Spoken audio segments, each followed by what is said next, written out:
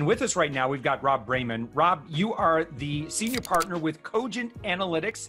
Uh, you're on the Inc. 5000 list. Uh, you are actually a return guest as well, uh, because I love the wisdom that Cogent Analytics provides. And specifically, Rob, you're a smart dude. and um, I'm so making no claim to, to that, you, Josh. I wanted to have you back so we could talk about uh, a very, very important word for pretty much everybody who's listening to this show for business owners, and that word is profit.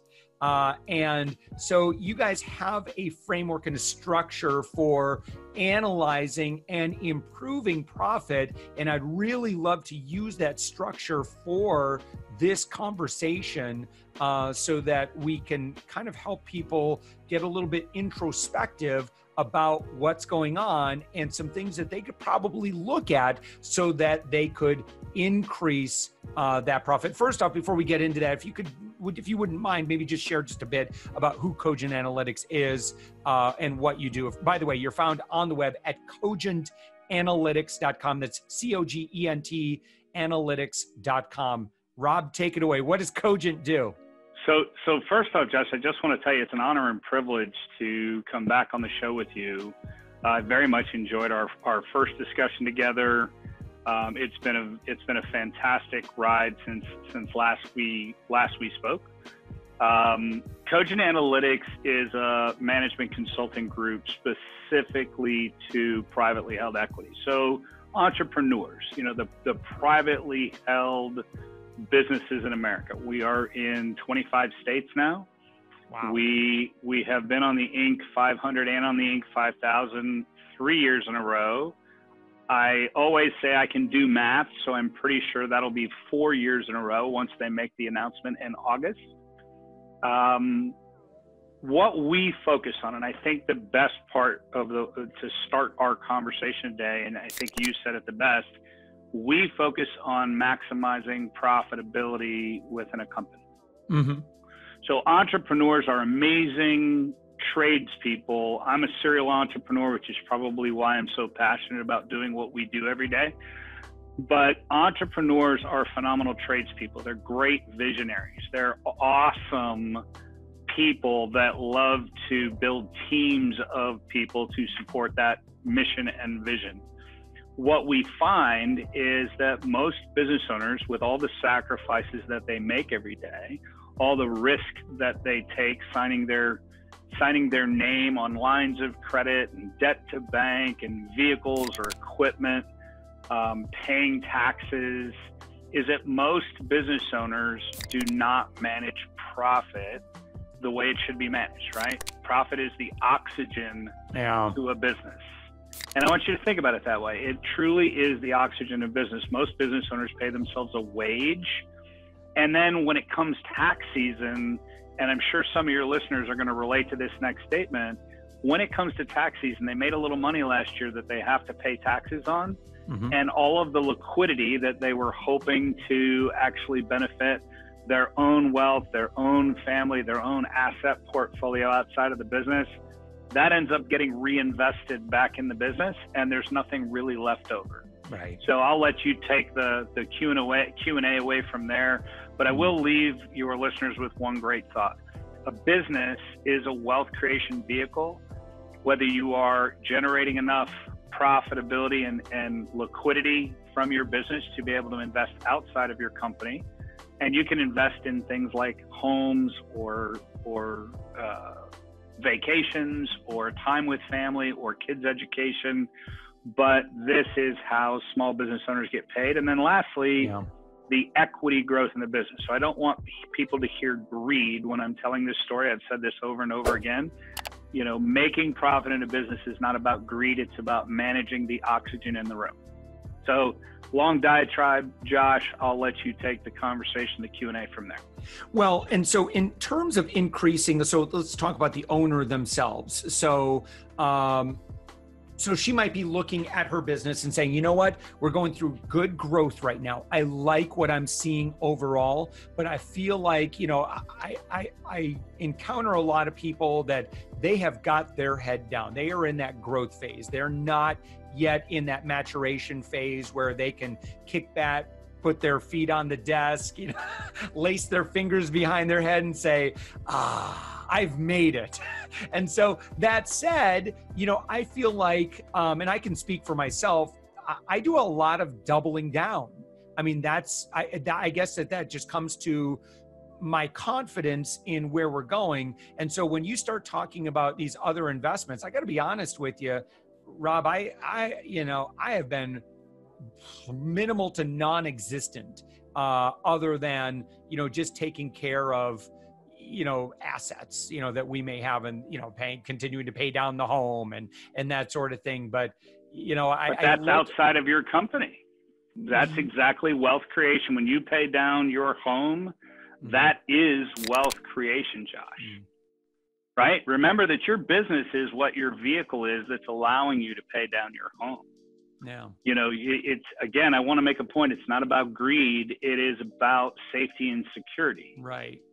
So, uh, and I'll start with the profit platform because I think it's appropriate to at least share conceptually with your listeners. Right. The way the profit platform is designed, it is business development, and that is comprised of sales and marketing. Then you have organizational engineering, which really is people you know, that's from the first hire, the the everyday hire to the most senior leadership in your company. Operations management or process engineering, that's how we generate the work that we do. Yes. And lastly is measurement. So, measurement, you have to think in context of operational performance indicators as well as financial performance in your company. Any one of those pillars in your business mm-hmm. right? If you remember sitting, if you're sitting in a in a restaurant and you've got that chair where one leg is a little shorter than the other, yeah. and you spend your entire meal wobbling back and forth, mm-hmm. that's exactly what your business does. When one of the legs or pillars on your business isn't really as robust as it should be, it negatively impacts your profit. And most business owners don't look at all aspects of their business their skill set, their trade, their profession that, that made them choose to become an entrepreneur. Yeah. It was all about what they did for a living. It wasn't about business management. Yeah. Right? It's this not, is the science of business. Yeah, and and Rob, it's not innate for most business owners to know all this stuff. It's like you know, like a lot of you know people that might start as a freelancer or they're maybe an independent professional. So, like my this example, my wife is a family therapist. So, if she has a slow week, it could be tempting to say, "Well, it's because I'm a bad therapist." No, it has no. very little to do with the fact that you're probably an excellent therapist. It's we're talking about a completely different set of skills, and so. Well it, it, so it, so the same can be said for profit. And so um, i think a lot of times we might look at um, well it's you know it could be the fulfillment of those services or that product or whatever.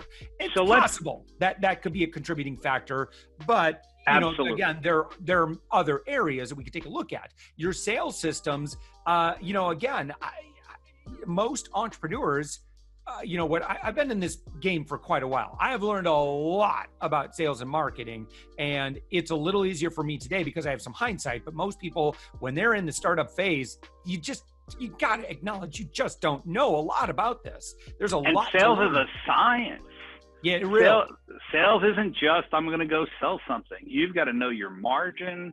You've got to know your market penetration. You've got to know how many of anything that you're going to sell at what price to the point of break even. Mm-hmm. So the behaviors of managing sales, um, and I've been doing this for 18 years. I've mm-hmm. represented thousands and thousands and thousands of companies. Most often, people look at sales as something other than the science it is. You know, there are there is a lot of points on the respective map that you have to manage from number of touches, industry type, vertical approach, market that you you believe you can get penetration in, competitive analysis.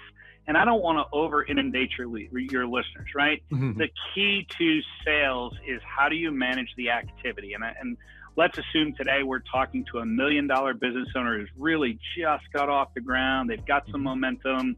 They're really focused on their business. Managing this, the, the activity called sales sometimes gets lost because business owners wear all the hats, right? So once they get the work, then they're really busy going to do the work. And so it's like I'm busy working, or that, and when I don't have work to, in the pipeline, then I'm out busy selling again instead of really committing to how much time, effort, and process, right? Remember, it takes people, it takes process, and it takes measurement mm-hmm. to be mm-hmm. able to have good business development. Right. If I jumped over to the people side of the pillar, you got to have good process and good measurement to drive human behavior. This isn't yeah. to lord over people. This is to empower people. Most employees want to come to work in an organization where they believe in the culture, they believe in the mission, and they are empowered to do well. People don't go to work to fail. People go to work to be successful. So the process of measurement is about empowering employees to be yeah. successful. Rob, do you see this often? And I'll just, you know, again, I, I, I hope that I'm, I feel like I'm coming across transparently on this conversation. No, it's great. Uh, just because you're, you're, dude, you're such a smart guy on this, and we've had some other conversations, so I really yes, appreciate it. So I hope you don't mind me using my own, uh, you know, uh, kind of pre- uh, pain points, you know, what we're experiencing. So, uh, and I bet there are a lot of other founders. They've got that founder magic. Their vision is probably like, you know, miles ahead of where it's this could probably happen sometimes where their team is kind of like you know who's very capable very good but sometimes i see my vision kind of being a couple miles ahead of where everybody's at and and i mistakenly make the assumption that that they get it right? And so that's my own fault because i don't know that like i might be communicating things on a very high level but because i'm more of a visionary and less of an operator you know i just assume that well you guys will figure out how to do it. Or you know again i i could tell you rob that this is something that this has come up a few times with my and so bless my bless my team's heart. Gosh Almighty, they're very patient of, with me. for all of your listeners, Josh, I'm going to tell the listeners today. I can attest to the fact that Josh Elledge is a visionary. he truly is passionate and and thinks about his business, and he's always two, three steps forward. So as, aside from that, um, you know you're you're describing i love the fact that you're making it personal because you are telling the story of the american entrepreneur right? You know we we as a collective group and i am one go into business with a really strong passion and belief about hey we can do that. Mm. and that's why i love representing small business owners you know but you reach that point where all of a sudden you hire one person and the next thing you know you have five people and the next thing you know you have 10 people. And unless you have a clear vision and mission you, the thing that you think and that's a common story that most entrepreneurs will tell us as a team is well i communicate every day. And that and then you go into well let's get into a little bit of the more formal behavior called a plan. And I'm not talking about a 96 page document. I'm talking about a one or two page, very clear, here are executables. Here's points on the map that we mm. as a team are going to accomplish. Who's responsible for what in this mission? And how are we going to be successful together? Usually, entrepreneurs will give high level vision but they fail to break it down into executables. Yes. So what happens is the business owner ends up doing it all. Yes. Right. Gee, Rob. Uh, uh, so I guess the good news here is if anybody else is kind of struggling with the same thing, you're, you're not alone. You are not alone. Yeah. And so, um, so, you know, taking so I think then the answer to to the person then that's the business owner is listen, you're just going to have to what's going to feel like slowing down to speed up a little bit, but you you got to build this pro you got to build these processes. You got to get, you know, everybody in alignment with this vision otherwise it's um I, it's like jumping in you, you see a car, you, you jump in the car, you hit you you hit, hit the ignition and the and the gas, and you have no idea if the fluid, you know, if there's fluids in the car, you know, if if it's got, you know, if the brakes are working, uh, if the the you know the, the wheels aren't you know ridiculously unaligned or something like that. Um, you, you just got to do that check of the vehicle and make sure that the vehicle is sound. Is that a decent analogy? I just kind of. I, no, I love it. Although yeah. we usually tell clients it's, and imagine this. Imagine you were driving from anywhere in the United States other than Florida and mm-hmm. decide mm-hmm. you're going to take your family on a vacation. So you jump in the car, you fill up the tank, and you start point south. Well, then somebody puts a great big black you know no seeing screen over your dashboard. And then and then they narrow the the windshield down to a little slit in the windshield. Yeah. So the only person that can see out of the windshield is you and it's only out of a little slit so your vision is confined and you can't tell how fast you're going. You can't tell whether your engine is overheating. You can't tell how much gas you have in the tank. Are you starting to so now I'm augmenting the analogy you used. What I want to make really clear to your listeners is the planning phase. And I love the fact that you said slowing down to speed up. I would say it really isn't slowing down. It, it it's just not always having your foot on the floor of this accelerator pedal going yeah. 120 miles an hour down the highway. You know, and I love this metaphor that we're using. If you if you breathe for just a second and you think about if if if you got hurt or you had to have a surgery, Josh, or you had to be, you know, shoulder surgery takes you out of your business for two weeks. As a business owner, you got to ask yourself whether you have a robust enough organization, process, and controls in place, whether your business can survive two weeks without Josh Elledge. Right. And I know that today there are listeners to this podcast that are answering that question will know mm. because they are the business and the business is them. Right. Now, that strategic planning element, right? That that one to two page, let's sit down and be very clear on who's responsible for what, what market are we going to go after, what margins do we have to protect, right? Because profit is not residual in a business. And I see this so often. People treat profit like whatever's left over. And and I, I would say a strong percentage of entrepreneurs don't manage net profit, they manage gross margin. And what's the explain the difference? So revenue less direct cost, and I'm, and I'm sorry, I'm going to be a little technical here. Yeah. Direct cost, in definition, is what it specifically takes to produce your product. So man and material, in its loosely defined sense, I could get into a lot more direct costs, but I don't think that would serve your your listeners man and material gets you to I sold something for $100. My manpower and my material cost added up to 65%. percent mm hmm Well, I've got 35% left over called gross margin. Now the problem is now you got now out of your gross margin, you got to pay your lights, you got to pay your insurance, you got to pay your FICA, FUTA, SUTA, SSI, you got to pay for your uh, vehicle expense, if you have a vehicle in the business, you got to pay for. You're starting to pick up what I'm, what I'm laying down. Right. You know, I, I walk into so many business owners. They say, "Oh, I'm making thirty percent," and then you get into all of the other costs of running their business. Right. And all of a sudden, you went from thirty percent to very quickly one percent. And they're underpaying themselves because they're not reverse engineering.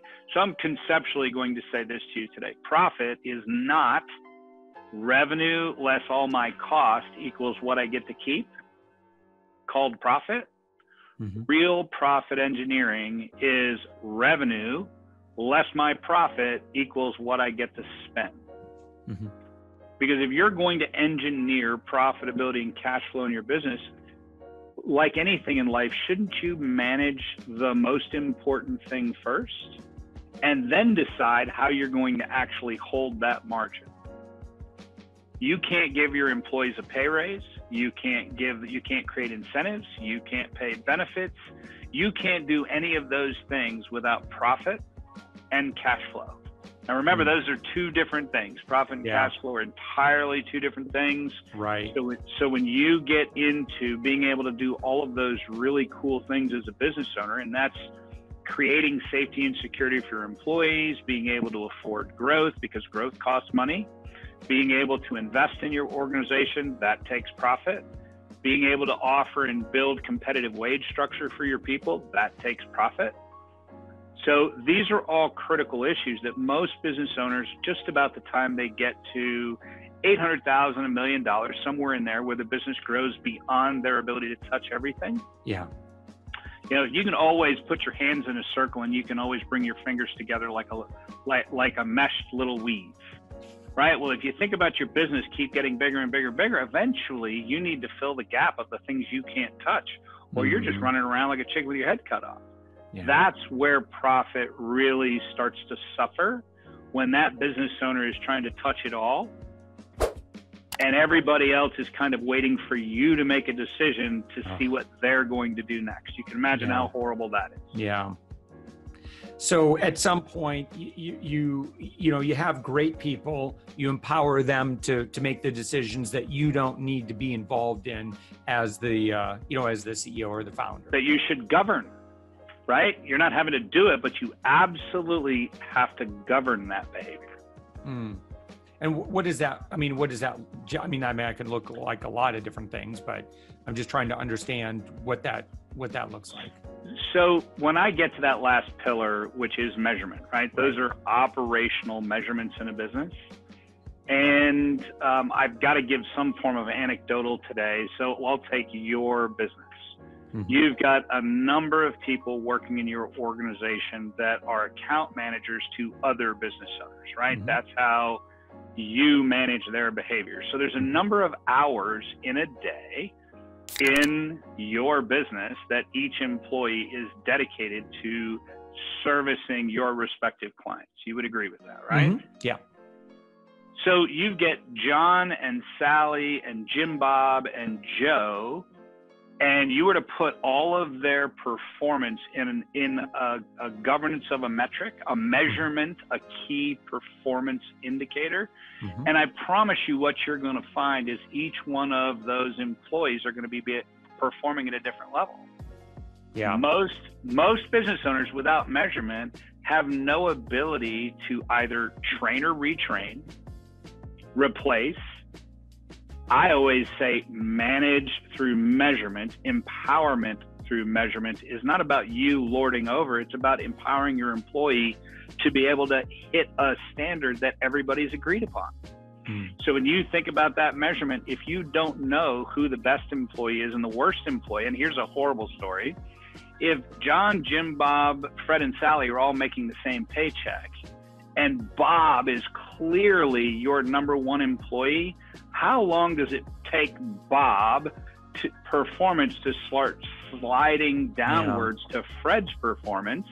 If Fred's your worst employee and he's out getting coffee five times a day, Hmm. how long is Bob going to work at his absolute highest peak if everybody's making exactly the same wage? Eventually, absence of standards means that substandard will become the standard. Whoa. Can you say that one more time? In absence of standards, substandard becomes the standard. Yeah. And I know you personally, right? If you were to look at your organization and you and I have a relationship, Mhm. you would say, "Gosh, Rob, I I kind of know. I know what you're saying there. I felt that before." Right? In the process of hiring good people, Yep. all of us hire the not so goods. Yep. Right? The Oh, yeah. worst part, the, right? The worst part of the not so goods is it shouldn't take us a year, a year and a half to figure out that that not so good was a negative impact to our to our Mm. company. Yeah. Yeah, it's you know, you, you hope for you know, Love that word, hope. yeah, right. Like hopium, right? That's my favorite small business drug. right. Hopium. Yeah, yeah, right, right. You know, you you give people the benefit of the doubt in their onboarding, and uh, you know, I, I guess that's one thing that you know we haven't done, or at least I can speak of some of you know, our, our company where I don't know that we've got those standards for, listen, at month two, you should kind of be at this level. I mean, it's, it's easy to be um, fairly subjective and say, geez, you kind of dropped the ball on that. That's frustrating. Um, you know, but I would imagine what you're talking about is again having these these standards and and these metrics that are really easy to decipher. And i think the goal is to have evidence of performance as soon as possible. You can't over measure right? It's like paralysis through analysis. We've all mm. heard that story. Key performance indicators are exactly what they yeah. say by definition. They're key. Every business owner has key measurement points that if they were to sit down with their team, everybody on the team is going to agree to that measurement. Yep, boss, we all understand why we're being measured this way. As long as they know what it is, that empowers them to overperform to that standard, right? So now you're building a stronger team and the people that are falling short of the metric, it allows you to train or retrain mm-hmm. to get them to that standard. And if they genuinely cannot achieve that standard and you are forced into a position where you must release, there's no hardship or hard feelings because they know they're not living to standard. Right? That's how you build high performing teams is you've got a clear mission, clear plan, clear vision, and you've got to got to build the structure within your company based on the pillars that we're talking about today, right? How do I get high performance out of an organization? Well, I've got to have process and operational management that is governed by a measurement that everybody agrees upon. You don't hide that little note in your pocket. That's something you engage your employees and get them to participate in that vision with you. Now you know you've got a high performing team. Uh, so, Rob, where is a really where's a great place for someone to kind of uh, take a look at Cogent? And uh, I know you offer a program that's that's very accessible, um, so that people can kind of begin that discovery process with you and get a lot of value out of that. Can you explain how that works? Sure. Our our discovery is designed as a deliverable. Um, what we do with every client is we go through for our very very small clients we do an interview process using a virtual tool. For our more substantive clients we're boots on the ground in their company. So depending on the size of our clients in our traditional side it's two to five days boots on the ground working with you and your staff as an independent third party and really performing an in-depth gap analysis to understand why profit may or may not be suffering. I always say most business owners will know about 70 or 75% of what we're going to uncover, but they haven't really been able to take action. Yeah. Right? It's the other 25% where I always say is magical because that's the thing that the business owner had either not considered, not identified, or knew nothing about. So that's on our traditional side. Now, what we did is we recreated that exact same process for our startup clients because nobody is representing the really small business owner that's that's just getting off the ground trying to figure out how to run a business. Right? We do virtual consulting with our $2 million clients and below, you know, sub 10 employees. And with that, it's usually a couple week process, a little at a time, because a business owner is consumed with running their business every day. Mm-hmm. So we'll do an hour or two, and then we'll encourage them to go run their crazy every day. And then we'll do an hour and two. But at the culmination of that, we go through a full findings event with them and their team to share with them what we are seeing as impingements or roadblocks in their company and and for some of our clients we move forward to consulting but in our viewpoint you cannot represent every client because there must be a, a, a clear roi mm-hmm. and you mm-hmm. have to have a highly engaged client but our sure. discovery is a magical thing because we can do that with everybody anybody that hangs out a shingle and says we're a small business owner you can do a discovery process with and it is always going to be empowering for their family and the team that they're that they're developing. So um, if I didn't give you a fulsome answer or or it was a little little obscure, ask me questions because I, I, I, tend to ramble. Right. So I, I um so that process and and I need to say too, it, it really even if you're an earlier stage startup, uh, it, it's when I say accessible, it's affordable. Um, and and where how does someone take advantage of that? Where can they sign up? How can they see uh, a little bit more details on on uh, beginning that? So www.cogentanalytics.com. Mm-hmm. We have a number of uh, ebooks that we've put together. You know, if you're ha- experiencing a, a, a, challenge in your business, we've got a massive library now. Yeah. Of of case studies and white papers. You know, for me, Josh, I always said give small business owners the information. Eventually, you earn enough credibility for them to start asking you questions.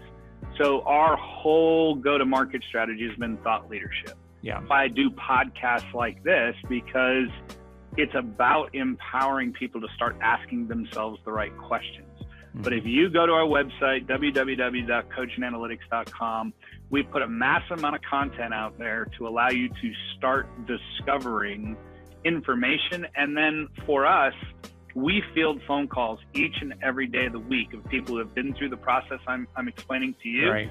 And then they fill out the form, and we will always do individual counsel, you know, 20 to 20 to 30 minute sessions of explaining what you're going through. You know, tell us your story, tell us what you're going through, and and spend that time to really identify some areas that that might be gaps or shortfalls. Yeah. Um, before we take you into a discovery process.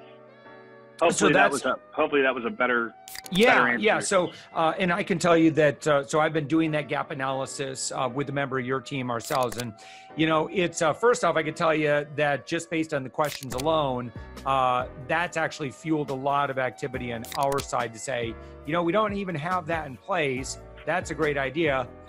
And so that's the empowerment. yeah so your, your consultant that we're working with has been very patient by saying, uh, would you mind if I go ahead and did that? And then I could have more information for our next meeting. And so uh, that's been, actually been a really helpful exercise. And, you know, for any founder of a company, I, you know, I think that if you're not dedicating at least an hour or two every week toward um, you know, investigating your sales, your organization, your process, your measurements, and and setting up those systems.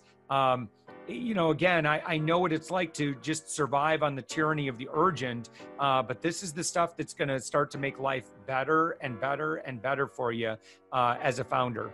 And and Josh, I, I think I will share with your listeners the same thing I shared with you many moons ago. I love the hour or two a week because that's spot on but you gotta you t- tell them what I said to you, right? You gotta you gotta be willing to dedicate an hour or two every week to work on your business, yeah. not just in your business, which mm-hmm. is the trap, right? We all moving around so fast, generating revenue, trying to get the work done, trying to take care of our customers or clients that we get we get caught in that trap of working in our business and now all you did was buy yourself a job that's right. Right? Yeah. The difference is now you got all the risk and liability that goes along with owning the company. So work on it, not just in it. Very, very smart. Rob Braiman, uh, you are this uh, senior partner, right? Is that the uh, the, the yes, term sir. you use? Yeah, at, at, at Cogent Analytics. The website is Cogent, C O G E N T analytics.com. Uh, and, and if, again, if you click on the resources tab, what Rob was talking about in the Knowledge Center articles podcast, it's a really, really great place to start that foundational education. That's why I say it's a great, you have so many resources there, white papers, case studies, and so forth, um, where you can start investing that, you know, a couple of hours a week into working on your business or, um, so that you don't have to work in your business as much. And then, of course, uh, you know that that great way to start is kind of that gap analysis to actually start working with um, someone from Rob's team, uh, and they can kind of help you figure out, you know, where you need to focus your energy so that you can, you know, build that thing that you always dreamed of. but again, Rob, just like what we talked about at the beginning, it's just not, it's just not innate. You, you just, it's, these are not the things that that that you know when you you know when I decided that you know I, I got really good at getting in the media, so I'm going to help a lot of other people get in the media. Well, that's nothing to do with you know again processes and all this other stuff. That that stuff is like, oh geez, I better figure out how to do that. that's so it's the, really, really that's the running of the business. You got it. That, yeah, that, yeah. So running the business, and I'm going to say this, um, yeah, Josh, and I, and I just spoke over the top. That's so rude. I apologize. No. Um, running running the business of the business is not the same thing as doing what you do every day. Yeah. So, you know, on, not in, and you have to remember that running of the business of the business is so critically important. And it's what protects you and your family, right? At the end of the day, you got into business, you probably went home, told your wife, and said, honey, I'm going to open up a company. And she asked you if you were crazy. No, mm-hmm. right? You know, entrepreneurship is a calling and and it usually is somebody's passion. So I've got all the respect in the world for everybody that's listening to this discussion today. Um, you know, it, it is it is important that you understand the science of business, and it and it's really really important that you understand profit isn't residual; it's something that you have to control. Because I see too many clients put themselves at risk and and not just by not managing the detail, the science of business. And, you know, eight out of ten businesses fail in the first five years. I think everybody's heard that. I, I would tell you most of those failures are directly attributable to our discussion today. Mm-hmm. And that's why I, I do it. what I do, Josh. I believe it. Yeah. Well, Rob Braiman, thank you so much for joining us. It was incredibly inspiring. And again, cogentanalytics.com. Thank you, Rob, for joining us been an honor and a privilege, Jeff. Thanks for having me back.